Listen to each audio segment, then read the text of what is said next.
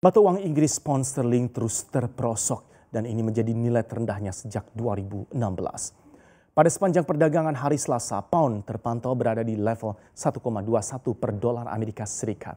Ini terjadi sebagai respon ketegangan yang terjadi di parlemen Inggris pasca kembali aktif dari resesi dan jelang Brexit.